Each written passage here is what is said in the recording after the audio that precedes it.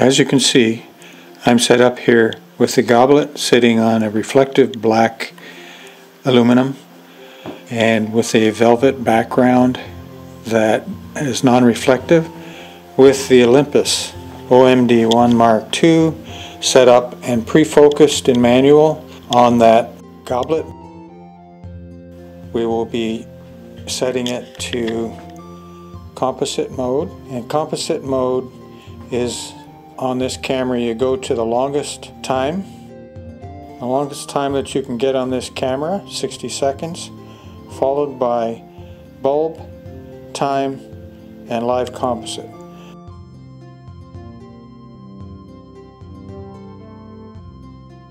And you can see it's telling me to take a shot. If I press the button it's now eh, ready to do composite shooting if I press the shutter button again, it's actually taking pictures and you can see down here in the corner it's counting up one, five, six, seven, and it'll keep going until I add some light.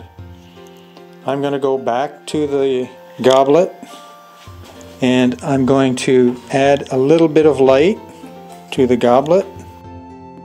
To accept the changes and the extra light that's been added, I just press the shutter button again and I come up with this beautiful image. After a little camera raw adjustment for spot removal, this is what it looks like. As well as the goblet, I also used another image, this wooden block with a letter on it, sitting in the same spot with the same lighting, turn the lights in the room off, and the only thing that the camera takes in repetitive pictures is the added light to the original.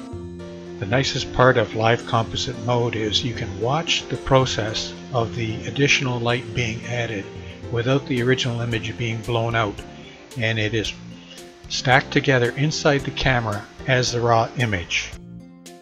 I'm providing another example with some still items, a rose and a loon and showing you that I'm sitting at f16 which makes the original image very very dark. And then I'm applying a small white light from a, a small flashlight to the image and watching it progress on the screen until I'm happy with the outcome both the lighting of the original image and the reflection. And once then it's completed I just press the shutter button to stop the process and it post processes them in camera to a raw image. And I'll show you the outcome as I processed in camera raw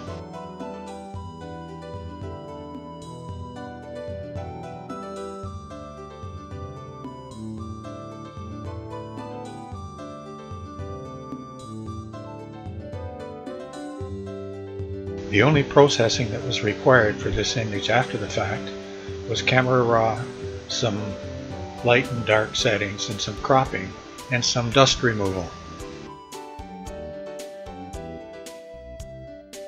I have yet another example, a small glass jar that was picked up in China, hand painted by a Chinese lady and I'm processing this the same as I did all the other stills. Same f16 setting in live composite mode. Lights were out in the room. I pre-focused in manual and press the button once for a base image which is dark and press it again for it to start the process.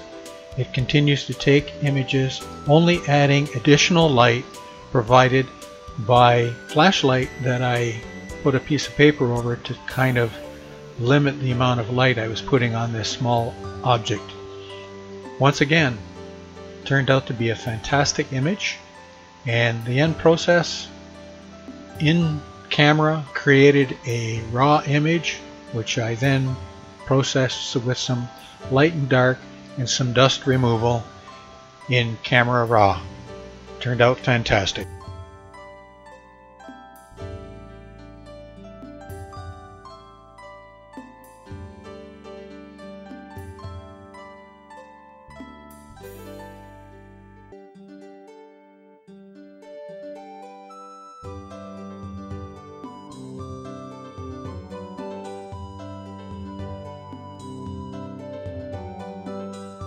This small glass object is only about 2 inches tall, but it sure creates a real nice reflection in that black aluminum.